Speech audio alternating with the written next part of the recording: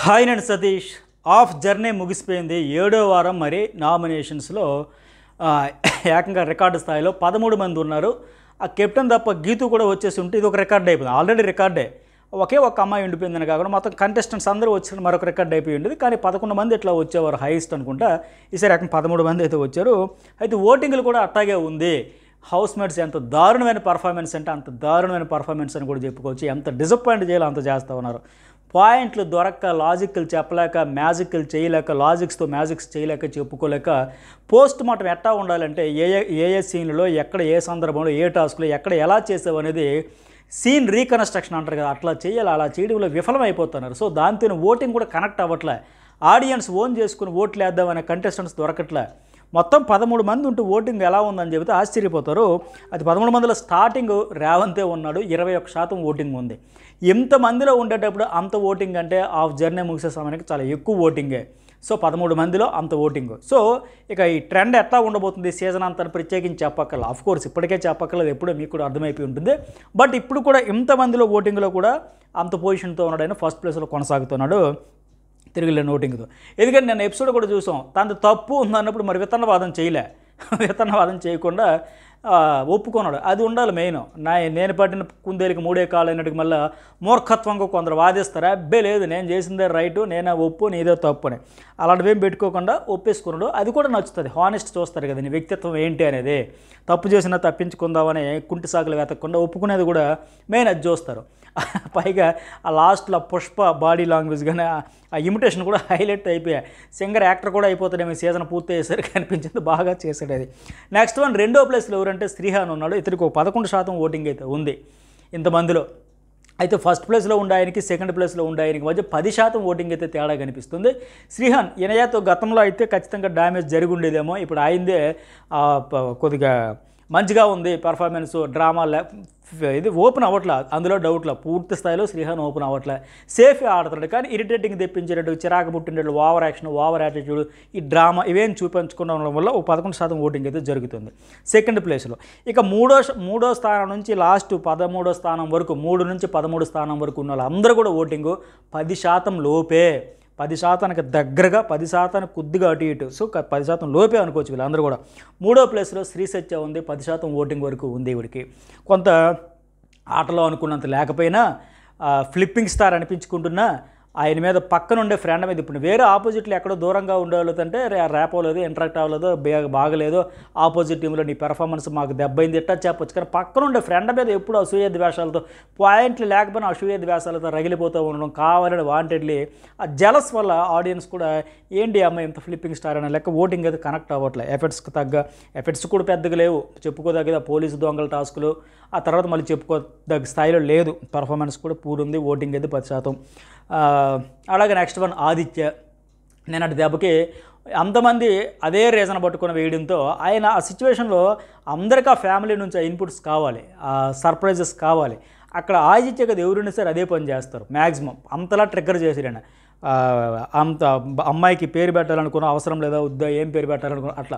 మరో సందర్భంలో చేస్తాడు. ఆ ఎమోషన్ ఎవరు అర్థం చేసుకోకుండా అదొక తప్పు అన్నట్టుగా ఆ సిగరెట్లు సాక్రిఫైస్ చేసింది. అది కూడా ఇంకా ఆర్గ్యుమెంట్ కూడా చేయలేదు వెంటనే ఓకే అందరికంటే బెటర్ నేను ఒక్కడమా అనుకోవడం బెటర్ పాజిటివ్గా వెళ్ళాడు. గీతు డెసిషన్ కూడా పాజిటివ్గా తీసుకున్నాడు.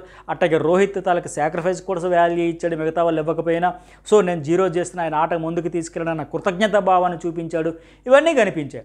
ఆ బాల్ వేయడం కానీ ఇవన్నీ కూడా. సో అతన్ని టార్గెట్ చేసి వీళ్ళకి రీజన్స్ లేక చెప్పుకున్న చేతగాక అతన్ని అంటే పాయింటే కరెక్ట్ చెప్పడానికి అయ్యో మరి అన్యాయంగా చేస్తారని కాదు నేను అనేది.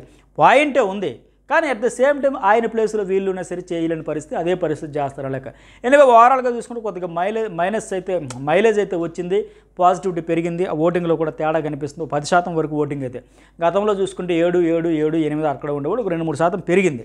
తర్వాత ఐదో ప్లేస్లో ఆదిరెడ్డి ఒకటే పాయింట్ పట్టుకుని వేలాడతాడు ఈయన. నువ్వు డిజర్వ్ కాదు నేను డిజర్వ్ వాళ్ళు వెళ్ళిపోయిన వాళ్ళు డిజర్వ్ ఉన్న వాళ్ళు డిజర్వ్ ఇంతకు మించి పాయింట్ లేదా? అందుకే స్టార్టింగ్ నేను చెప్పినగా ఆ పోస్ట్ మార్టం చేయాలి. ఎందుకు కాదు? నువ్వు డిజర్వ్ కాదమ్మా. ఆటలో ఇంకా బెటర్ ఇవ్వాలి అవుట్పుట్ నీ నుంచి వచ్చింది ఇదే. ఎందుకు ఎక్కడ ఎలా చెప్పావంటే చెప్పాలి. ఎగ్జాంపుల్స్ చెప్పాలి. ఇగో ఈ టాస్క్లో ఇంత పర్ఫామ్ చేసో ఎలా చేసో ఎలా లాక్ చేయాలి? చెప్పాలి కదా ఎగ్జాంపుల్స్తో సైతం చెప్పి వాళ్ళు కూడా నిజమే కదా అన్నట్టుగా ఇప్పుడు నేను రివ్యూలో కూడా చెప్పుకున్నాడుగా ఆయన పేరెంట్? అర్జున్ కళ్యాణ్. నీలో సరుకు ఉంది. కానీ ఎందుకు బయటపడలో? ఆరు వారాల్లో మీ నాన్నగారి వీడియో చూసాక ఫైర్ వచ్చిందా? ఎమోషన్ వచ్చిందా? మరి ఆ ఎఫెక్ట్స్ ఎందుకంటే మంకి? అదే పూల కుండి టాస్క్లో ఫస్ట్ నువ్వే కదా ఎక్కువ సార్లు పరిగెత్తావు. అంటే నీలో విషయం ఉంది కానీ బద్ధకమా? లేకపోతే వేరే గేమ్ దగ్గర ఫోకస్ ఆమె దగ్గరికి పోయిందా? లేకపోతే ఇంకేమైంది? ఇలా చెప్పి చెప్పి చెప్పి అలా అంతే తప్ప నువ్వు డిజర్వ్ కాదు నేను డిజర్వ్. వాళ్ళు డిజర్వ్ మీరు కాదు. ఇది కరెక్ట్ కాదు. ఎగ్జాంపుల్తో సైతం పోస్ట్ మార్టం చేస్తే వాళ్ళు కూడా రియలైజ్ అవ్వాలి. లేదా ఇంకా వసంతి విషయంలో కానీ. అక్కడ కూడా చెప్పాలి. ఎందుకు కాదు? ఎలా కాదు? అలా చెప్పాలి. అంత తప్ప చెప్పకుండా ఇదే పాయింట్ పట్టుకుని వెళ్తే అందుకే ఊహించని రీతిలో ఆయనకు కూడా నన్నైతే డిఫెండ్ చేసుకోలేకపోయి వాళ్ళదే పై చేయి అయిపోయింది. మనం ఎప్పట్లాగా ఒక యాటిట్యూడ్తో కమాండింగ్తో వాయిస్ రేజ్ చేసి లాక్ చేసేద్దాం అనుకున్నాడు కానీ అనుకున్నంత ఈజీగా ఆయనకి జరగల. వాళ్ళదే పై చేయి కూడా అయిపోయాయి పాయింట్లు తెచ్చి లాక్ చేశారు. ఆ అర్జున్ కళ్యాణ్ కూడా మంచిగా చెప్పాడు. మరి నువ్వు అంత స్ట్రాంగ్ ఫిక్స్డ్ పాయింట్స్ ఉండేటప్పుడు మరి నువ్వు ఎందుకు ముందుకు లీడ్ తీసుకో? అవకాశం వరకు లాస్ట్ వరకు నువ్వు ఎందుకు వేచి చూస్తావు ఎదురు చూస్తావు? ఇలా ఆ ఇనిషియేషన్ ఎందుకు తీసుకోవట్లేదని చెప్పడం ఇలాంటి దగ్గర కూడా ఓటింగ్ పెరగదు. సో ప్రస్తుతానికి ఆదిరెడ్డి కూడా తొమ్మిది శాతంతో ఐదు వేస్తాను అట్లాగే కీర్తి ఈ అమ్మాయికి కూడా పాయింట్స్ ఉండవు. ఆటలో పెద్దగా ఇన్వాల్వ్మెంట్ అంటే స్కోప్ దొరకట్లేదు ఇంకా దొరకట్లే. పాయింట్స్ ఆవిడికి దొరకట్లే ఆవిడని చేయడానికి దొరకట్లే. ఒక ఏడు శాతం ఓటింగ్తో ఉంది. పదమూడు మంది ఉండడం వల్ల పైగా ఫస్ట్ డే కనుక కొద్దిగా అటు ఇటు మార్పులు చేర్పులు కూడా ఉంటాయి. చూద్దాం మరి ఎవరు ఇంకెట్టా ముందుకు వెళ్తారైందని అలాగే నెక్స్ట్ వన్ అర్జున్ కళ్యాణ్ ఆరు ఏడవ స్థానంలో ఉన్నాడు. ఆరు శాతం ఓటింగ్తో. నిన్నటి వరకు అయితే బాగా డిఫెండ్ చేసుకున్నాడు. తను చెప్పాలనుకున్న పాయింట్లు చెప్పుకున్నాడు. మీరు ఎలా చెబుతారు ఆ పాయింట్? ఆడియన్స్ డిసైడ్ చేస్తున్న ఓటుతో తడబడకుండా పైగా అవతల టెంపర్ లూజ్ అయిపోయి వాయిస్ రేజ్ చేయి ఎందుకు అరుస్తారు ఎందుకు? కూల్గా చెప్పండి మాట్లాడలేదు మామూలుగా చెప్పండి పాయింట్ చెప్పండి లాజిక్ చెప్పండి ఎందుకో చెప్పండి. అది తప్ప ఇట్లా అన్నం రైట్ కాదు. ప్రతిసారి ఇదే పాయింట్ ఎన్నిసార్లు చెబుతారు మీరు? అంటే మళ్ళీ ఎనిమిది వారాలు అదే. అరే నాయన ఒక రెండు వారాలు చెప్పడమే అది వ్యాలిడ్ పాయింట్ కాదు. అంటే మళ్ళీ ఇంక ఎనిమిది వారాలు కూడా అదే చెబుతుంటే దానివల్ల ఏమీ వస్తుంది ఉపయోగం? ఉపయోగం లేదు కదా. ఎగ్జాంపుల్స్ కూడా చెప్పి చెప్తే బాగుండేది. అట్లాగే వసంత్ వసంత్ కూడా బ్రహ్మాండంగా చేసింది. మొహంలో కాన్ఫిడెన్స్ కనిపించింది. ఆ గతంలో ఉండే బెరుకు లేదు. ఆయన పాయింట్ చెప్పగానే ఇప్పుడు పంచు ఇప్పుడు పంచు. ఇది ఒక రీజనా ఎందుకంటే లాజిక్ లేదా? భయపడుతూ భయపడుతూ బతికే ఏం పేరు? ఆయన పేరు? రాజశేఖర్ కూడా నువ్వు భయపడుతున్నావు అనడం. ఆయనైతే సాక్రిఫైస్ చేయలేడు కానీ ఇవిడికి నువ్వు సాక్రిఫైస్ ఎందుకు చేయలేదంట? కనీసం నాగార్జున చెప్పాక ఆవిడకు కృతజ్ఞత భావం కూడా ఉంది. ప్రతిసారి త్యాగం చేసో నీకు రుణపడి ఉంటాయి. ఇలా చెబుతూ వచ్చింది రోహిత్ విషయంలో. ఆయన అది లేదు ఇది లేదు మళ్ళీ చక్కగా ఫోన్ కాల్ అన్ని వాడుకొని ఆ ఫైవ్ పర్సెంటేజ్ కూడా మళ్ళీ రోహిత్ అన్నాడు కానీ వాడుకొని అన్ని చేసి మళ్ళీ నాగార్జున సమక్షంలో కూడా ముందు ఇనిషియేట్ తీసుకుని చొరవ తీసుకోకుండా గీతక్కకు భయపడిపోయి బెంబలు ఎత్తిపోయి కలుగులో ఎలకల దాక్కుండా పోయి ఈవిడి గురించి అనడం అక్కడే గట్టిగా డిఫెండ్ చేసుకుంది. ఆదిరెడ్డి విషయంలో కూడా గట్టిగా ఏందండి ఇదేనేంటండి? ఈ టాస్క్లు ఒకటేనా? మీరు టాస్క్లు ఆడిస్తే అయిపోయిందా? ఏంది మరి కెప్టెన్ మీరు రెండుసార్లు కంటెండర్ అయ్యారు మీరైతే ఏంటి కెప్టెన్ అయ్యారు అయితే ఏంటి జీరో అయ్యింది కదా మళ్ళీ సోఫా వెనక మాతో పాటు వచ్చారు కదా? ఇలా పాయింట్ చెప్పడం. ఒక మార్క్ ఎక్కువ వస్తుంది. స్కూల్లో పిల్లలకి చాక్లెట్ బిస్కెట్ ఇదా అని చెప్పి గతంతో పోల్చుకుంటే గత రెండు వారాలు చాలా మెరుగైంది ఆట. తర్వాత నైట్ లైవ్లో కూడా చూసుకుంటే రేవంత్ వీళ్ళు కూడా అదే అంటున్నారు. అర్జున్ని వసంత్నే. మీరు చాలా బాగా పాయింట్స్ చెప్పారు చాలా బాగా మాట్లాడారు. గత రెండు వారాల నుంచి చూస్తున్నా వ్యాలిడ్ పాయింట్స్ లేవనెత్తారు. మంచిగా ఆడారు బాగుంది నచ్చిందని అప్రిషియేషన్ కూడా చేస్తున్నారు. ఎఫెక్ట్ కూడా పడింది ఆ అమ్మాయి కూడా ఓటింగ్ అయితే పెరిగింది. సో మొత్తానికి ఫైవ్ పర్సెంటేజ్ ఓటింగ్తో ఇంతమందిలో కూడా సేఫ్ జోన్లో ఉంది అనిపిస్తుంది. ఆ తర్వాత ఇంకా ఇంకెవరంటే ఫైవ్ తొమ్మిదో ప్లేస్లో ఉంది ఐదు శాతం ఓటింగ్తో ఉంది. ఈవిడికైతే ఓటింగు గతంలో ఫస్ట్లో చూసుకుంటే ఇరవై నాలుగు శాతం వరకు వస్తూ అప్పుడు కొద్దిగా ఆరుగురు ఏడుగురులో అంత పర్సంటేజ్ అంటే ఎక్కువ. పోనీ ఇప్పుడు చూసుకుని ఫైవ్ పర్సెంటేజ్ బాగా తగ్గింది ఈవిడ ఓటింగ్ కూడా. అలాగనే డేంజర్ జోన్లో అయితే లేదు కానీ పర్వాలేదు ఫస్ట్ డే వరకు చూసుకుంటే. ఇక పదో స్థానంలో రోహిత్ ఉన్నాడు కేవలం ఫోర్ పర్సెంటేజ్ ఈ ఓవరాల్ ఇన్సిడెంట్ వల్ల ఈ వారం అంతా కంటెంట్ ప్రధానంగా ఈరి చుట్టూ కేంద్ర బిందువుగా తిరిగింది ఆ సాక్రిఫైస్ చేయమనడం కానీ ఆయన చేయడం వల్ల కానీ తర్వాత ఎమోషన్ అవ్వడం కానీ ఒక్కరు కూడా ఎంత సెల్ఫిష్గా ఉన్నారు ఏంద్రబాయ్ ఇవన్నీ కూడా చూస్తారే ఇంత కూల్గా ఉన్నాడే ఇంత మంచిగా ఉన్నాడే ఇంత ప్రశాంతంగా ఉన్నాడే ఎప్పుడు హార్స్గా మాట్లాడట్లేదే ఇలా చాలా పాలైట్గా ఒబిడియంట్గా సింపతి కూడా వర్కౌట్ అయింది కంటెంట్ కూడా ఇతర వల్ల జనరేట్ అయింది. ఆ త్యాగానికి హౌస్ హౌస్ మేట్స్ గుర్తించలేదు అనే ఒక సానుభూతి వర్కౌట్ అవ్వడం ఫోర్ పర్సెంటేజ్ ఓటింగ్తో పదవ స్థానంలో ఉన్నాడు. రిస్క్ జోన్లో కూడా ఉన్నట్టే అర్థమవుతుంది రోహిత్ కూడా. అట్లాగే పదకొండవ స్థానంలో ఎనయ. ఎక్కడ నుంచి మొదలైందో జర్నీ అక్కడికి వచ్చి పడిపోయి జాగ్రత్తగా.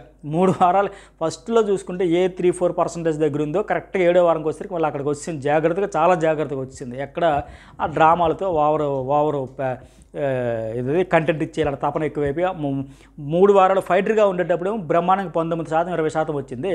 ఫైటర్ తర్వాత క్యారెక్టర్ మారిపోయినాక ఈ ప్యాంపరింగ్ మరదల క్యారెక్టర్లోకి వెళ్ళాకేమో ఫైటర్ టు మరదలకి వెళ్ళేసరికి తగ్గిపోయింది మొత్తం డౌన్ అయింది. ఇప్పుడు మళ్ళీ ఇంకా ఇది చాలా అడిగే కొత్తగా డ్రామా మనం ఫైట్ చేద్దాం. హౌస్ మేట్స్కి బ్లేమ్ చేద్దాం అనుకుని ఎవరిని బ్లేమ్ చేద్దాం? వీళ్ళే బ్లేమ్ అయిపోతున్నారు. సో ఉన్నదంతా పోగొట్టుకుంది.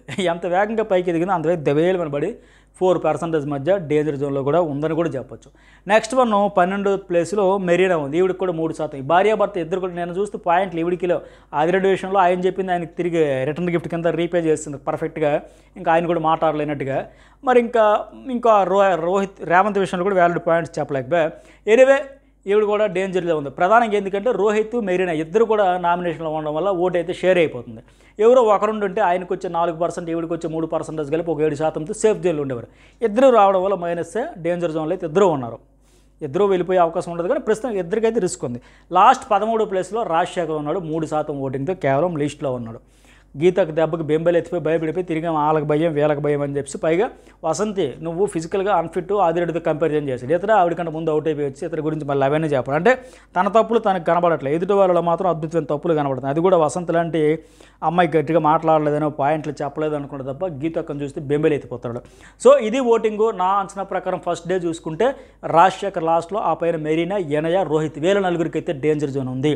మరి మీ ఫేవరెట్ కంటెస్టెంట్ ఎవరు? కామెంట్ చేయండి. లైక్ చేయడం కూడా మర్చిపోకండి. మీరు ఎంత లైక్స్ చేస్తే అంతమందికి మన వీడియోస్ అయితే నోటిఫికేషన్స్ కూడా వెళ్తాయి కనుక దయచేసి అయితే లైక్ చేయండి.